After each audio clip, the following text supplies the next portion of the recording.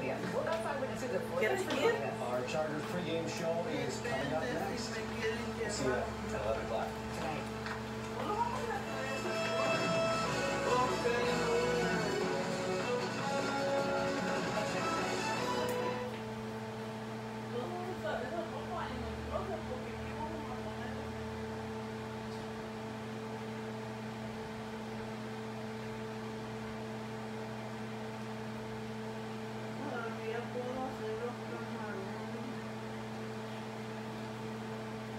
It's an NFL Network Saturday special No matter what happens, out here. with huge playoff implications. And it's part. Lamar leads the Ravens to LA oh, Touchdown! to face the heat of Rivers and the Chargers. Once and all, interception. Man, we're playing like a group of ballers. Saturday is NFL Saturday. Today at 5, only on NFL Network and ABC Saturday. On point means something great or awesome. So the end of your sale of the Ontario Auto Center is on point. Thousands of cars, thousands of discounts worth of 10 and 15. The end of your sale is on point and on now. Support our local firefighters and share your spark of love. Drop off new toys and sports gear at Mathis Brothers Furniture.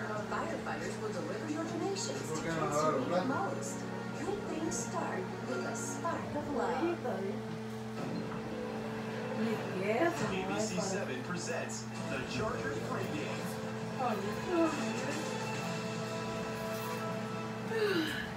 Hi, everybody, and thank you so much for tuning in to the Chargers pregame show right here on ABC 7, taking up to kickoff of a very important game for the Bolts as he hosts Baltimore Ravens. Happy holidays, everybody, alongside Ashley Moore, who just loves the holiday season. Oh, You know, I keep my lights up year round, by the way. Hey, everybody. Well, we're going to check in live at StubHub Center. Kurt Sandoval is going to chat with Chargers GM Tom Telesco and head coach Anthony Lynn. I'm really interested to hear what both of those guys have to say before this really big matchup. And Shawne Merriman is also going to help us break down the keys to the game.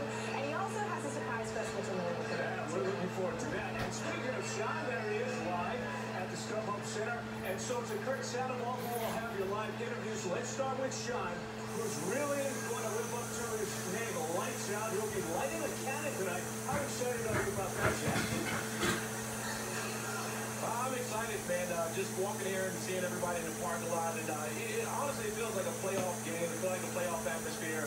And uh, like I said, I got a little something special for you guys. So you know, just, just sit tight. I, I, I got I got a couple minutes, but I got something for you guys. Okay, let's get to the meat of the uh, night. Of course, two teams